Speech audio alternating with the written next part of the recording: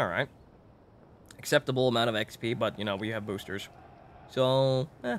Acceptable amount of money, too. Eh. Didn't do that much in terms of damage, though. Oh, well. We're learning the consistency of this vehicle, at least. It's not a rushing vehicle. You can't really get anywhere with it, and the armor isn't that all, all that amazing. So it's kind of like a, a very reserved type of vehicle. It's more of a sniper. More of a musketeer than a Gibraltar Gunsmoke, eh?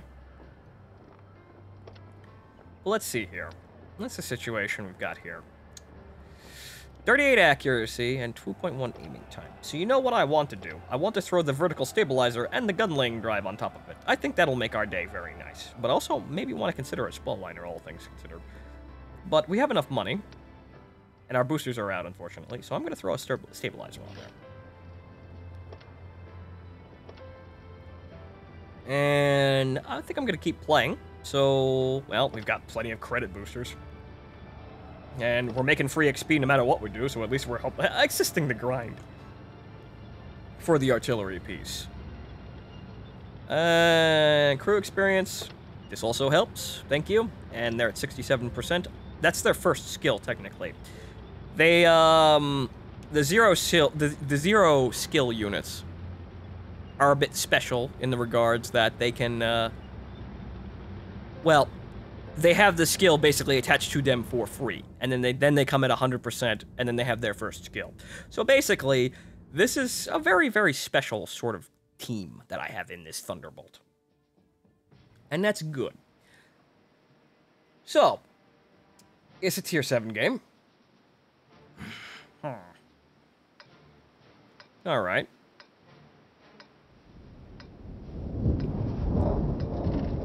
I don't feel terribly confident about facing down the enemy heavy tanks in the town. No, the only thing we have to worry about is the T-29. You see, in a lot of cases it's just guessing with map, uh, with selection of which side to go down at the beginning of the fucking game.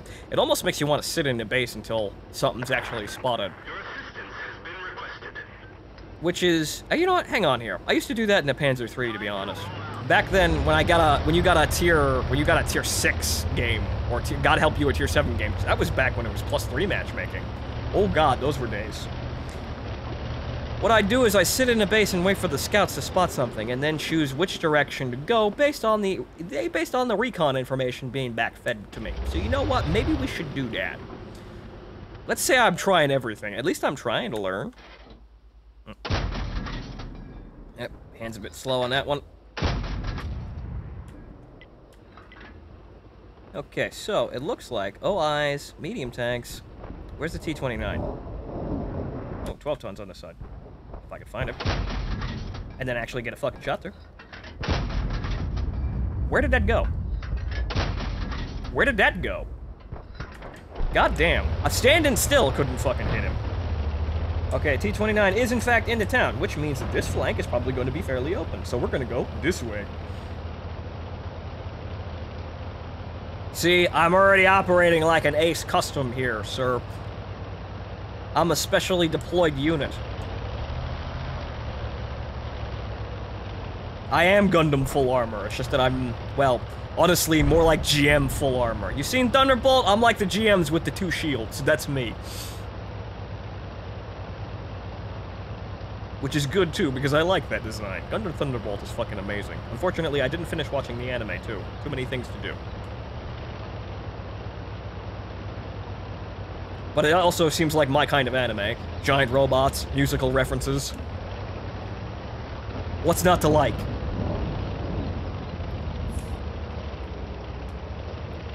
You guys having trouble here with this scooter?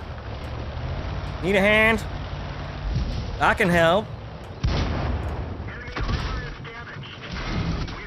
However, I'm gonna die. Mm, mm, mm, At least I can be reconned now.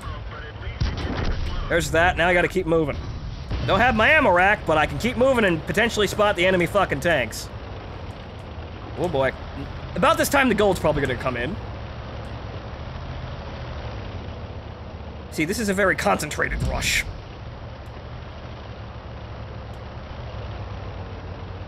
See, I can get away with this shit sometimes. But we still got the T-20 and we got a Nashorn to worry about at close range. That's not gonna be fun to fight. But Hmm. You might wanna, you wanna, you, you wanna, you wanna, you wanna. Nope. I got five seconds on my reload. You wanna pop out and shoot the Swede? Oh, he's behind the house. Well, at least we're keeping pressure on them. Where's the Nashorn, though? Okay, ST-20. They got reinforcements. Hopefully, that T-20 doesn't realize... Hopefully he won't realize for another 20 seconds that my ammo rack is damaged. I need help here. Oh, boy. Six, five, four, three, two, one. Put the shells back in the fucking rack. Okay, good. Now we got something to work with here. I can tank maybe one shot here. Oh, oh, this is what we're gonna do now. Ow!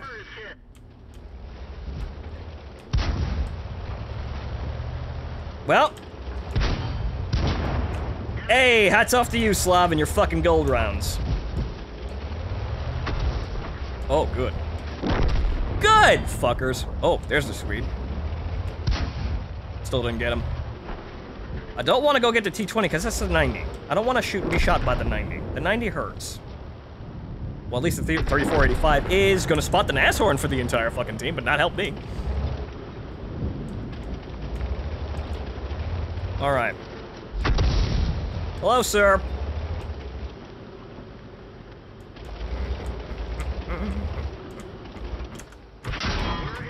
Oh ho! But now I'm fucked. Shot me in the tracks, but now I'm gonna actually not get anything done. Get him, Molotov!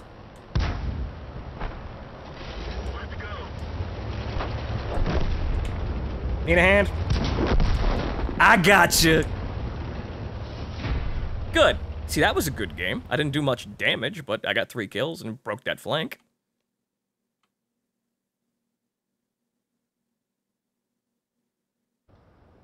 You see, I'm still trying to figure out exactly where the hell this armor works and where it doesn't. That was very good, though. Steel Waldo. Very, very nice. Also, I kind of want to put... You see, that's what we want for the third module. We want wet ammo rack. We want to stop that shit from happening. Because that's fucking annoying. Yeah. Decline. I'm busy, sir. We didn't do terribly much, but I wound up with more XP. Uh, top XP. See, that's kind of nice, isn't it? Alright, so maybe we should... No, maybe we should play like that more often, don't you think? See, how much is a wet ammo rack? 200,000. Actually fairly cheap. Alright. I got safe stowage in there, which will probably stop that, but st- probably bring that down to reasonable, but you know what? Maybe we want to make sure. Because that's really fucking inconvenient. Ah! Sorry. Had to move. Where is my... There it is. Looking for my water.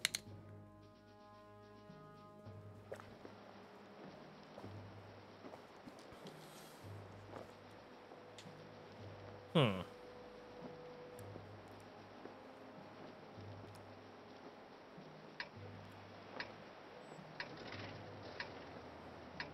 Alrighty, so this situation is a little bit more in our favor, I think. We don't have anything. We don't have a real massive roadblock. The Yak Panthers, Yak Panthers, kind of suspect, but we can shoot gold through that.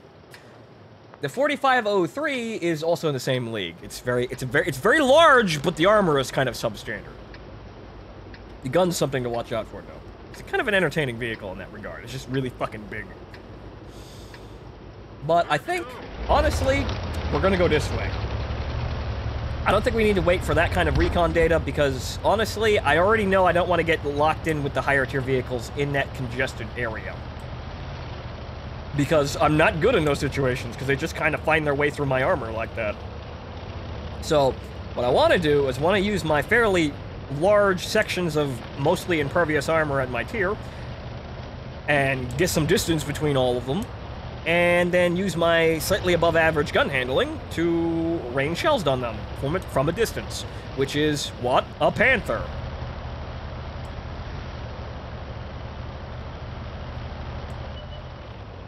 So we're gonna roll this direction. And we're gonna click at things, and hopefully we don't expose our side to too many fuck- Oh, look at all the T-67s, my god. The Manther. We can handle him. However, I don't want those T-67s creeping up on my fucking side. Enemy armor is damaged. Hmm. Probably shot me is in the... down. We can only signal near Where's he shooting me? Ow! Great, artillery. Fantastic. It was a good plan, it just isn't working. Oh boy. Fuck out of here. Well, I'm already down basically all of my health. Fantastic.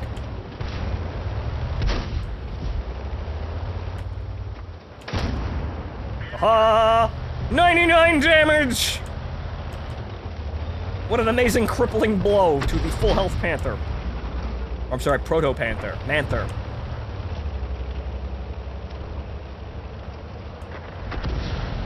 Okay, so we might be able to push something through here and get a kill. If we're lucky. Cool. Back the fuck up! I got something here. Maybe wiggle. Wiggle, wiggle. Wig wiggle, wiggle, wiggle. No. They're retreating, though. Oh, you son of a bitch. I got him. No, I don't fucking got him. We lose more Shermans like that.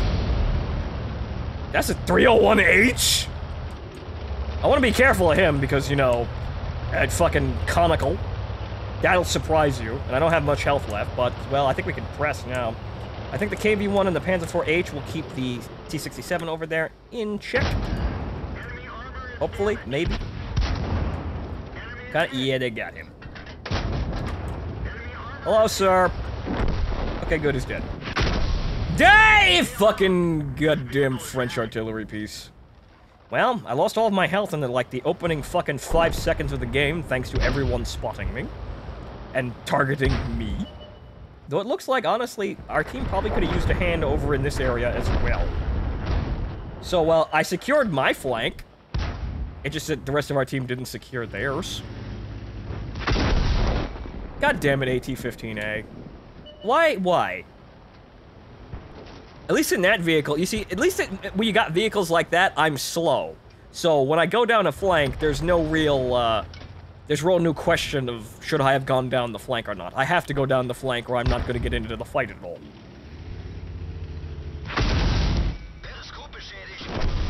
Well, looks like we're losing this one.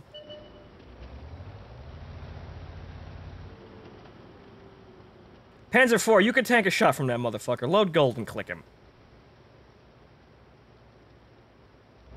Come on, you got skirts. You can handle it.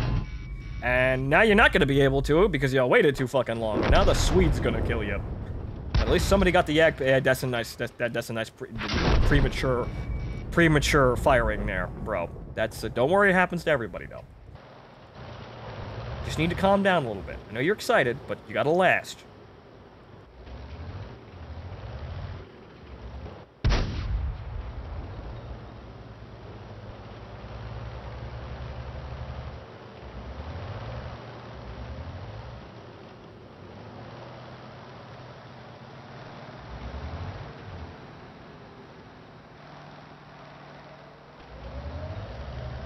Well, I don't think there's any question about what the fuck's gonna happen here.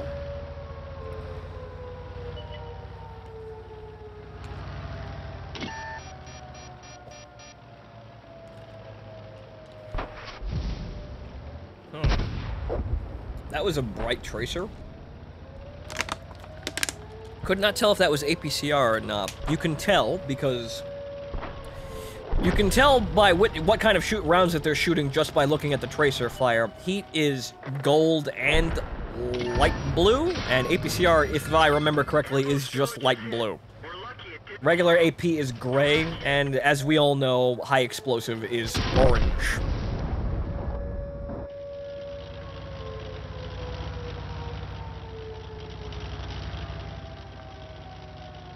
Somebody's mad. Hey, I helped. Nice job, T-67. Good off-road capabilities. Can you spite the B-2? Can you get him? Now you can't because that thing's fucking broken. That's never going to be fixed because they don't nerf premium tanks. Oh well.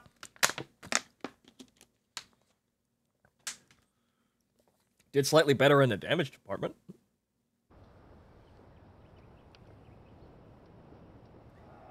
Alright. Hmm. So. Hmm. Well, we did pretty okay on our team, all things considered. We just still didn't do much damage, though. That's kind of the thing. It seems kind of hard to get damage out in this thing, because it's kind of hard to, like, get in in a fight and stay in a fight. Hmm. I need to find situations... I know why I'm doing that, because I'm not being aggressive enough in the right situations. But I kind of need to find exactly what kind of situations this tank can get away with. And that means I gotta play it a lot. A tier 6 game also helps. That's that's nice. I like that. I like more of those. Can I have more of those? I'll learn pretty quick with these these kinds of fucking games.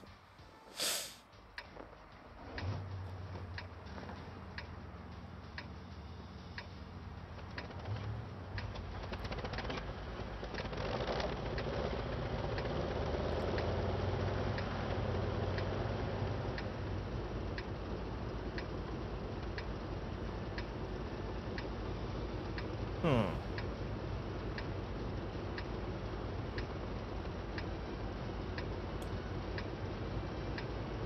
Let's get this show on the road. Alright, so we're gonna go this way.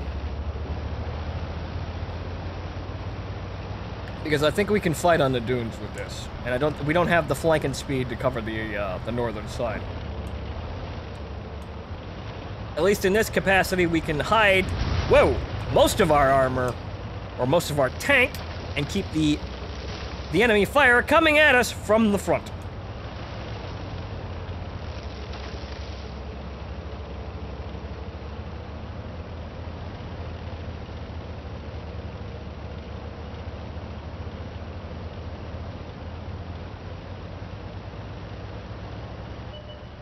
Hmm.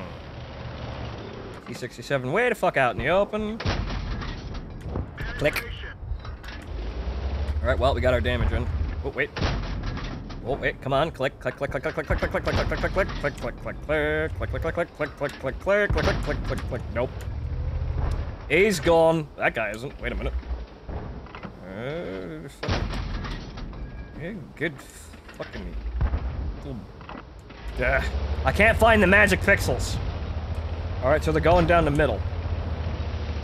Alright, we're gonna get over this dune so nobody can shoot us in the side. We're gonna keep advancing down this area. And maybe sight up some people. However, our middle is just kind of collapsed because the OI got shot, but it was an experimental one. He doesn't have any fucking armor. OI high mobility type.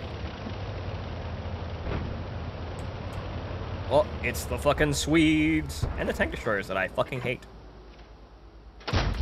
Ah, couldn't get it.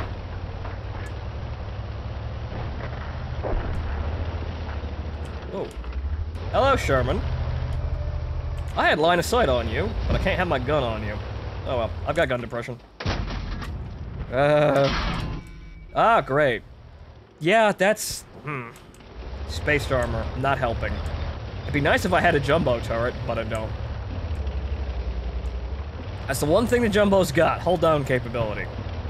This thing, it's kind of sort of nice, but as you saw, that didn't really stop the shell there. It'll stop heat shells, most likely. But, um, you know, I need more than that. Cromwell B. Now, you see, I found myself in a bit of an awkward situation here. But I think I could still probably manage this. Hmm. Somebody take out that T-67, please. Somebody. Anybody. He's sitting right out in the open. I could do it, but I'll get shot. Okay, he's dead. All right, so we're gonna wheel around here. And keep going.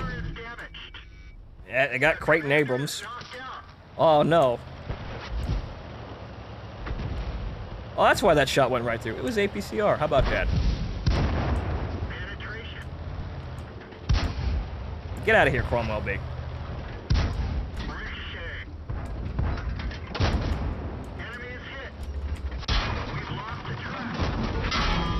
Armor is This is bad.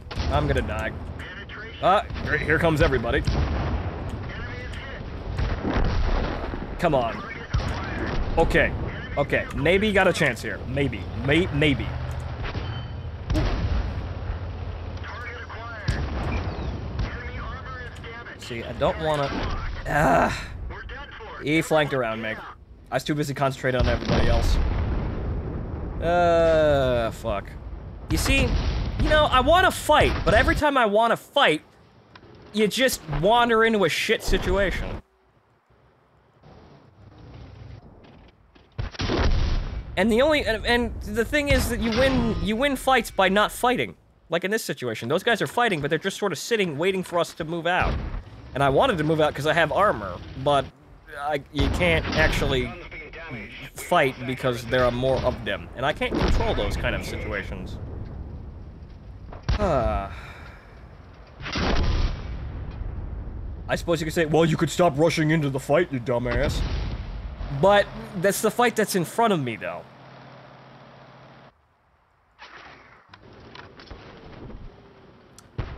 This game can be odd and really fucking infuriating sometimes.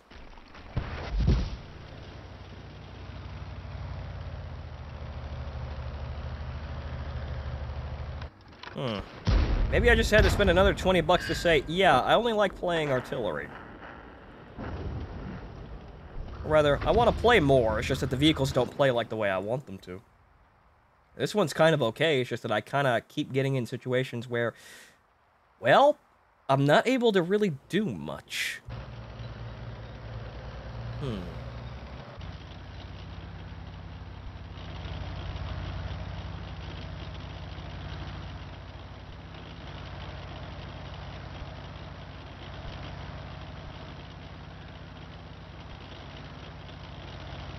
Hmm. Also, our artillery has one team kill. How did that happen?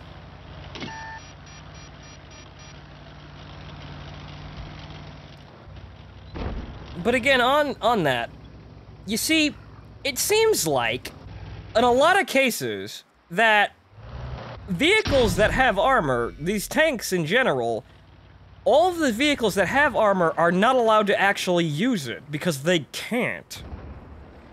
They're very big, they're very slow, and when they expose themselves, they're very large targets. But this is what the armor is supposed to stop, but the armor doesn't work. So you're just exposing yourself in a vehicle that can't get out of the way in time. Which leads to the high speed meta, which is why you have things like the T-67 running the fuck around, basically doing everything. So realistically speaking, until armor is actually usable and reliable, I can't really play the game the way that I want to.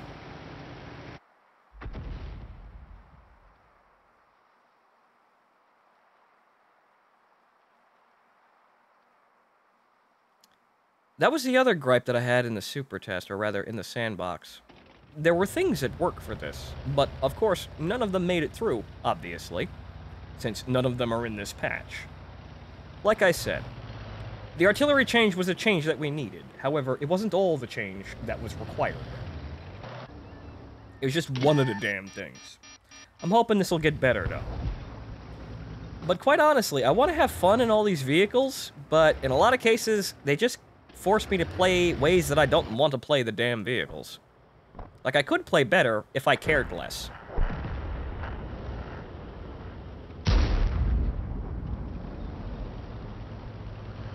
That's probably what you're going to see in ranked battles, because I'm just going to be loading gold and, well, clicking things all of the time. But in terms of the general video game at large, not a lot's changed. There's still vehicles that have lots of very good qualities, but are basically not allowed to actually use them, and must play like other vehicles, who are considerably more adept at the same fucking job. Or vehicles that have these weird, in- incomparable little fucking minor advantages due to their design which are very far and few between, and honestly, they're the most cancerous fucking vehicles in the game most of the time. And that's why, because everyone uses them, because you can game a small advantage out of them. But they're not heroic, honestly. All these like this just it's this the, the the the best tank in this game is still well, a tank like this, the T67. There are better tanks than the T67 at the T67's job, but it's still this vehicle. It's still a very nimble and fast, lightly armored vehicle with a very, very good gun to compensate, which can wiggle around into situations to completely ignore the advantages of every other fucking tank. And for some reason, it's been considered okay that the armored tanks, the tanks that rely on armor, that are not, that are the polar opposite of this vehicle, just have to sit there and basically deal with it and not expose themselves to being shot in the first place, even though they have armor, which means that they should be able to expose themselves and have a level of security against shit like this. However, a lot of cases, there are very few vehicles that actually have the armor sufficient enough to do this. This OI is one of them. But then again, everybody calls the OI and the Japanese heavies fucking overpowered because, well, they, uh, because they can't kill them in these fucking go-karts.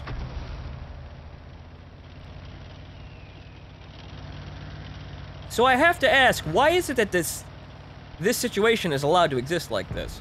Do the people who play these lightly armored vehicles not see that they are actually contributing to an unbalance?